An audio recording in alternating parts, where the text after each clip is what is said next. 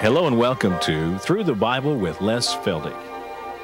An Oklahoma rancher and farmer, Les Feldick has been teaching homestyle Bible classes for 20 years in Iowa, Oklahoma, and Texas. Les Feldick's unique style of Bible teaching has made the books of the Bible come to life. When Les is teaching, it's so interesting that people say time just seems to fly by. And now, here is Les Feldick. Okay, good to see everybody, and we're going to go right back where we left off, and that'll be in Romans chapter 11.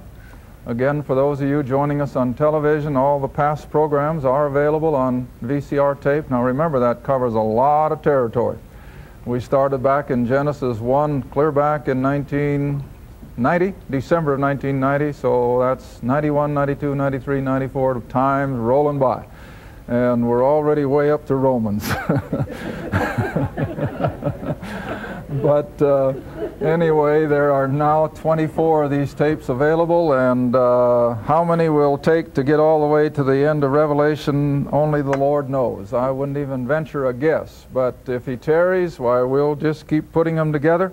And of course, every tape is now available in uh, the printed form in the little books, and uh, they are catching on. People are really appreciating them. So if you're interested in the videos or the, uh, the books, you just give us a call or write to us and we'll get the order list in your hands and the topics and everything that I think you need. Also, again, we like to remind people we're just an informal Bible study land. I wouldn't even venture a guess how many different denominations we have even in the studio, let alone in our classes and let alone our television audience.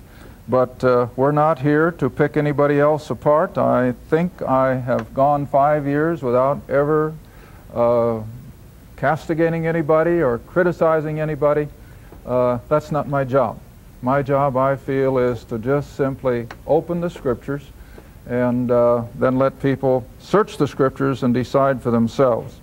All right, so much for announcements. Let's get back into the book then in chapter 11. In the last program, we were talking about the fact that God has not cast aside his people Israel. They are still in God's program. They have been set aside for the last 1900 and plus years, and he's turned to the Gentiles. A few Jews can be saved, and they are being saved, but as we'll see in the coming verses, it's just a remnant. And God has always kept his remnant. But the day is coming, as we'll see as we get to the end of the book of, uh, of chapter 11, that God is yet going to come back and finish his dealing with Israel. They are still going to enjoy all those covenant promises. They are still going to enjoy a glorious earthly kingdom. And all the earthly promises that God has given the nation will yet come to fruition.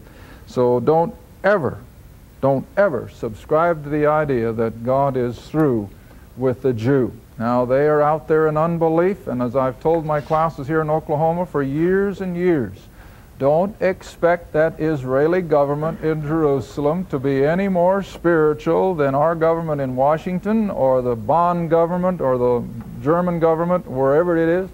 They are all secular. They are all under the God of this world, Satan. And Israel is no different tonight. But God still has his eye on them as his covenant people. All right, now then in chapter 11, we just about finished verse 2, not quite. And the last half of verse 2 says, Know you not that the scripture saith of Elias, how he maketh intercession to God against Israel, when he said, Lord, they have killed thy prophets, they have digged down or destroyed thine altars. And poor old Elisha says, And I am left alone, and they seek my life. Now you remember Elijah's setting, don't you? That was during the reign of old King Ahab and his lovely, precious, innocent wife. Are you kidding? Jezebel. Quite the opposite. She was probably the worst. In fact, I always remind people, have you ever seen anybody name their little girl Jezebel? I don't know of one, and I don't think any mother in her right mind would. But anyway, O Ahab and Jezebel have been ruling up there in the northern kingdom. Ungodly, wicked king and queen. And they had been promoting the worship of Baal and idol worship, and the Israelites had been falling for it. And O Elijah had even gone so far as to cause no rain for three years, utter drought. And still Ahab and Jezebel would not change their ways.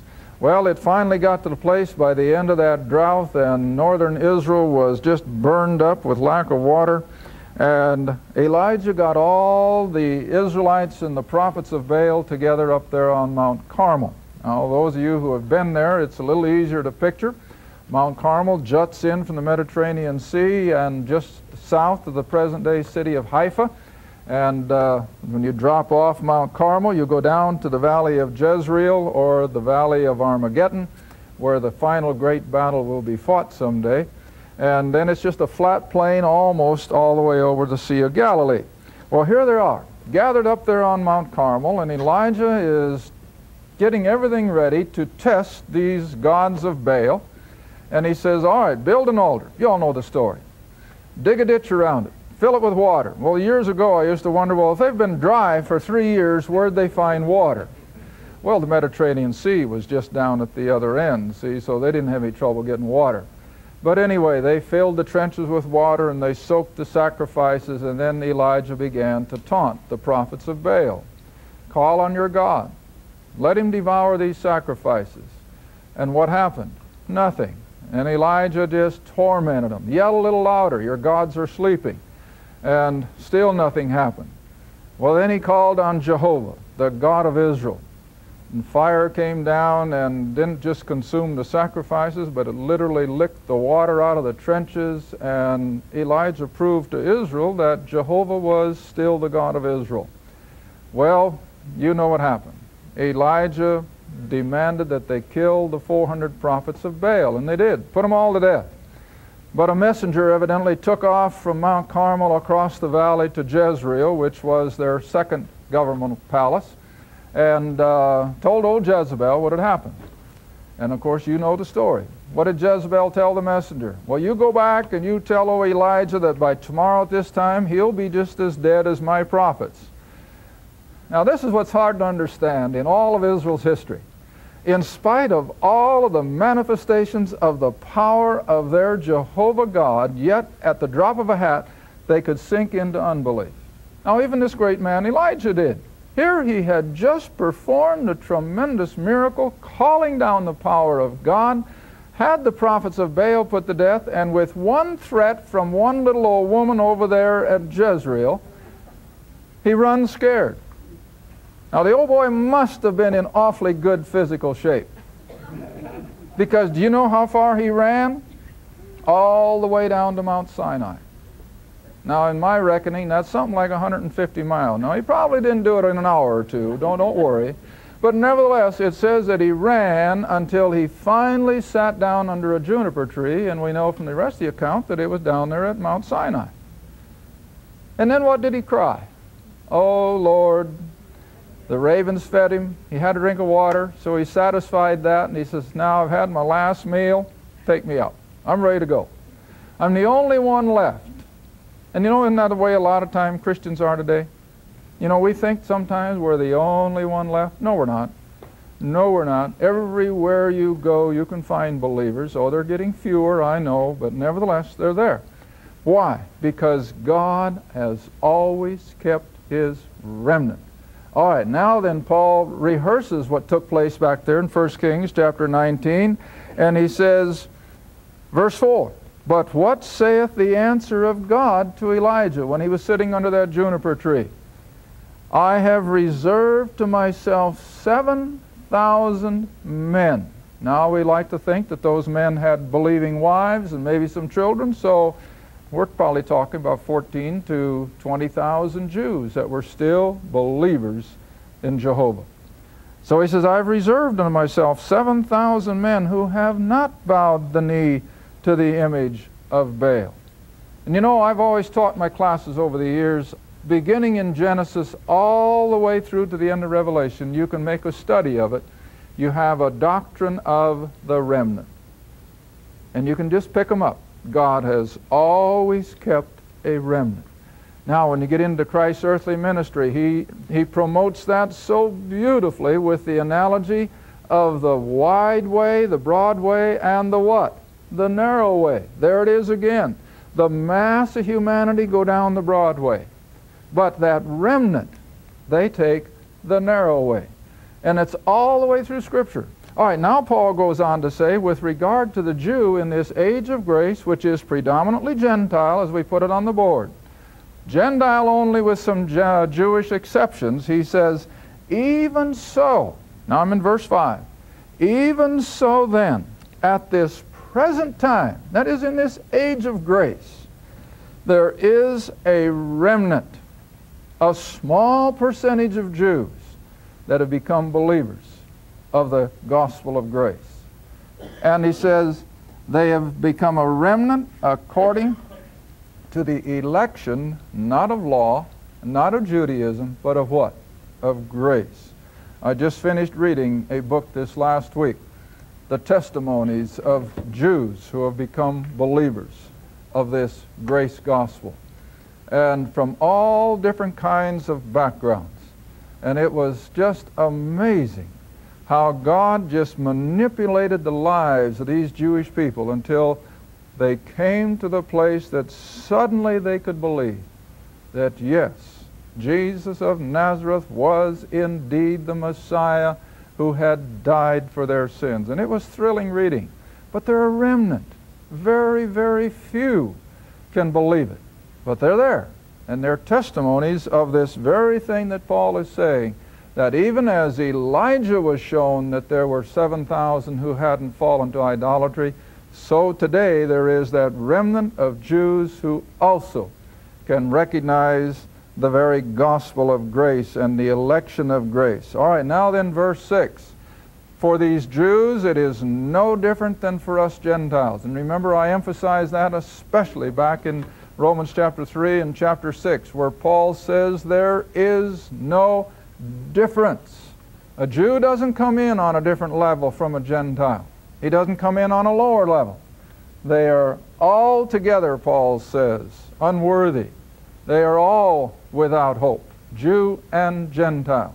And so a Jew has to be saved the same way we are today. And so now, verse 6, he explains that, that if it's by grace, that gospel by which we are saved, if it's by grace, then it is no more of what? Works. And even our Jewish people have to understand that. That if they're going to be saved by this gospel of grace, they have to drop all their works religion of Judaism. As beautiful as their ceremonies may be, and I will be the first to admit that, for example, their Passover service is a beautiful picture of the whole program of grace. And so many of their, of their feast days are beautiful pictures of our doctrine of grace. But listen, they're not going to be saved by keeping those Jewish feast celebrations. They have to come away from that and suddenly realize that it's not by works, it's not by keeping any feast days, but it's all of grace. There can be no works for a Jew any more than there is for a Gentile. Because he goes on to say in verse 6 if it's of works, then it is no more grace. Otherwise, work is no more work. Sound like double talk? But it isn't. Again, Paul is emphasizing what he has been almost screaming since we started Romans. Our salvation is faith plus nothing, or it's no salvation at all. Just as soon as we attach something, be it ever so small, and we attach it to that gospel of grace, it becomes a works religion. And listen, Christianity today is just inundated with works religion. And it can come in various forms. It's so subtle. I was talking to a lady in one of my classes the other night who, when she was living out in California, especially back in the Vietnam War days, her husband was serving in Vietnam, and of course she was under a, a lot of stress raising her kids. And the New Age people took her under their wing. And so subtly, just drew her into all of this New Age phenomena. But fortunately, the Lord opened her eyes and she was able to turn around and come out of it. But you see, all of this stuff, and that's what I call it, is based on works. And when it's works, it cannot be grace. And so whether it's Jew or Gentile, if it's works, it's not grace. And so we have to come God's way, and that is by faith and faith alone. All right, now let's move on into verse 7. I was hoping I'd get the whole chapter done today, but I doubt it. Verse 7 What then? What then? If Israel has not obtained that which he seeketh for, the election have obtained it, and the rest were what? Blinded. Blinded. Now, how can God do this? Well, He's sovereign. He can do anything He wants. Let's go back to Romans chapter 1. Been a long time since we've been back there, so it's a good time to review. Back to Romans 1. Dropping down to verse 23 and 24 and 25. And I think it takes us all the way back to the Tower of Babel when all this junk really began. All of the roots of your Oriental religions and idolatry and paganism, remember, started back there at the Tower of Babel. All right, what happened? Verse 23. They changed the glory of the uncorruptible God into an image made like unto corruptible man, and to birds and four footed beasts and creeping things. In other words, they dreamed up every kind of a God you can think of. And isn't that exactly what Egypt was doing when Israel came out under Moses? Every one of the plagues, remember, were directed against a god of Egypt. Yes, even the flies were gods. The frogs were gods. The Nile was a god. All right. Now then, since mankind had become so saturated with the worship of these man-made idols, look what happens in verse 24. Wherefore, see, because then of their falling into idolatry, God gave them up to uncleanness. What's he doing? God is judicially causing mankind to even go deeper into his sin. Now, we can't comprehend it, but that's what the Scripture teaches. And then when they went into a lower level of, of, sin, then you find for down to verse 26, God put them even lower. Why? Because of their behavior, their unbelief, their rebellion. And then verse 26 says, For this cause, because of man's reaction, see? For this cause, God gave them up to vile affections. Now that's not, that's not loose language. That says that a sovereign God judicially said, all right, if you want to live at that level, then go down one level lower. All right, now we have the same thing back here. Come back with me now to Romans chapter 11. We have the same thing dealing with the nation of Israel. Oh, they had every opportunity to know the will of God. They had all of the things going for them. In fact, back up with me again. I'm sorry, honey. Boy, I'll probably drive you crazy today, won't I? Back to Romans chapter 3.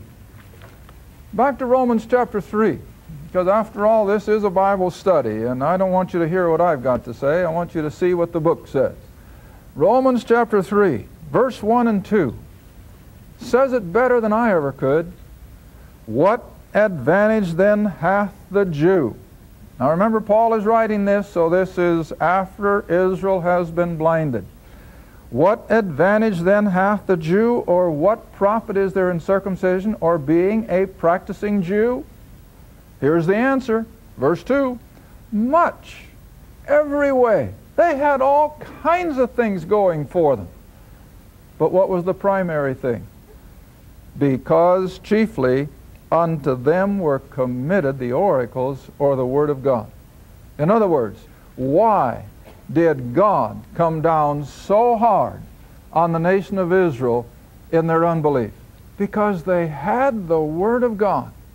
They'd had it for centuries, see? And what'd they do with it? They'd ignored it.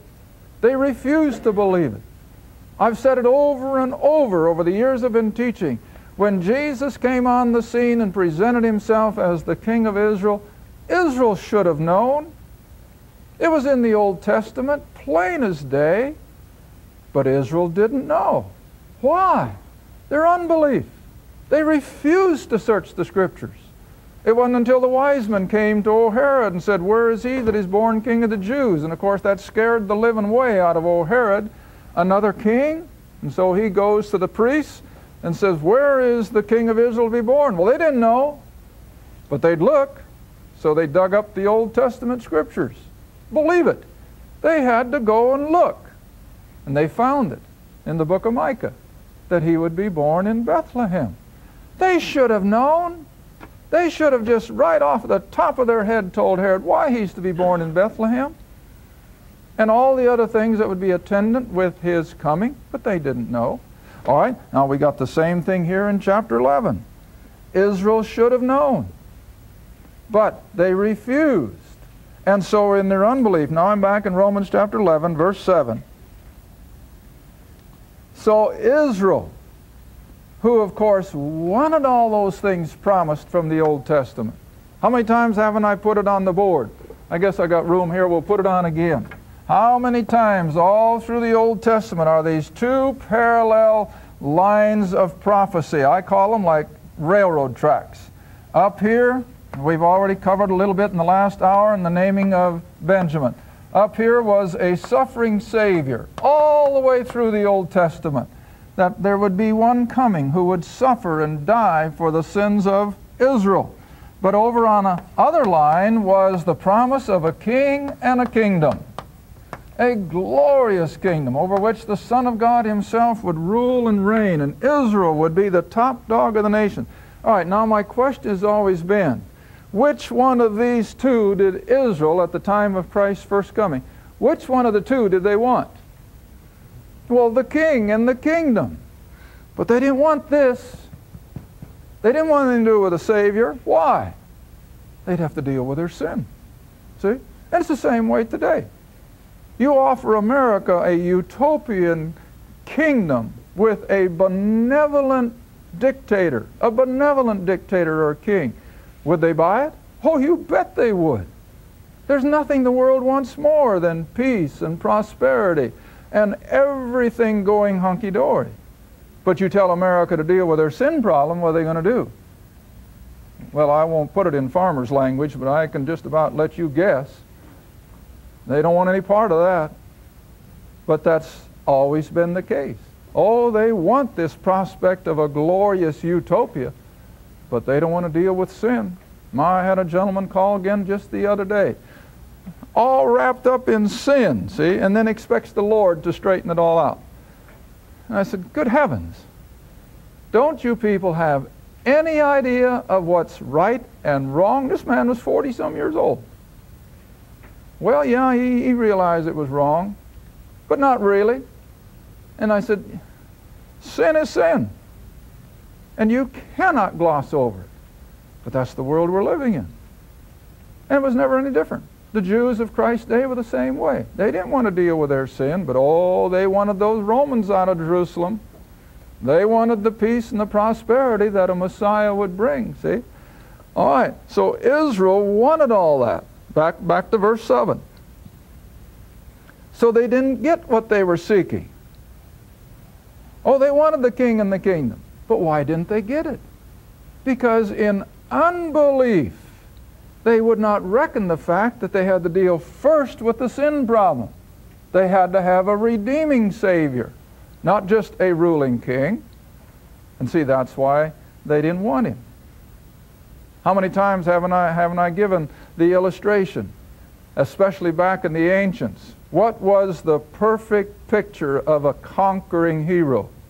Oh, come riding in on a big white steed, prancing like a show horse. That's what they were looking for.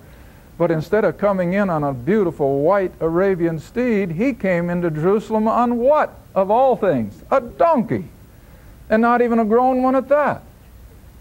And that just blew their mind. No king comes in on a donkey.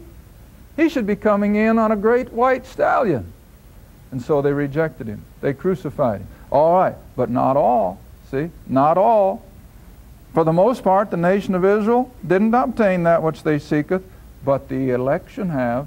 Now remember, I've told you all through Scripture, from Adam all the way to the end of the human experience. Who are the elect? Well, the believers. The believers. And so some of these Jews have been elected, yes. They have come to the place of salvation. They're the chosen. They're in the body of Christ with the rest of us, see? But the rest have been blinded. And so tonight the nation of Israel is out there, some of them practicing their religion, some orthodox, some secular, but for the most part they are spiritually blind. All right, verse 8. Let's move on. According as it is written.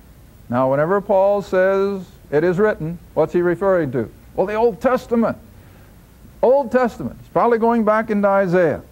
According as written, God hath given them the spirit of slumber, sleeping, spiritually, eyes that they should not see, ears that they should not hear, even to this day. And you know what? Paul could write this today and it hasn't changed a bit. It's just as apropos today as it was when he wrote the book of Romans. Verse 9. Again, he's going back to the Psalms. And he's going to quote King David from the Psalms. David said, Let their table be made a snare and a trap and a stumbling block and a recompense. Now, I don't know whether you've ever stopped to think about what table do you think the psalmist was referring to? Let their table be made a snare. Okay, remember the, uh, the shepherd's uh, psalm? Thou anointest my head with oil, thou hast prepared a table before me. What table was it referring to? God's table. Israel was literally feasting at God's table, see? And they were getting all the blessings and the ramifications of it. But that exalted position, and that's the best way I can put it, that exalted position of literally sitting at God's table became a what? A snare. See? And a recompense. And it caused them to fall. Horror of horrors. But you know what? He's going to warn us Gentiles of much the same thing. That we hadn't better take all these blessings and this grace for granted, for the day is coming, it's going to be taken from us. Okay, I've got to wind down. I've just about lost track of time, so we'll pick up where we left off in our next program. Thank you for watching Through the Bible with Les Feldick, a weekly Bible study. If you would like more information about the Les Feldick Ministries, a Bible study in your area, or about this program, write to Les Feldick Ministries, Route 1, Box 760, Kinta, Oklahoma 74552. That's Route 1, Box 760, Kinta, Oklahoma 74552. Through the Bible with Les Feldick is viewer supported, and your gift is appreciated. Thank you, and be sure to tune in next time for Through the Bible with Les Feldick.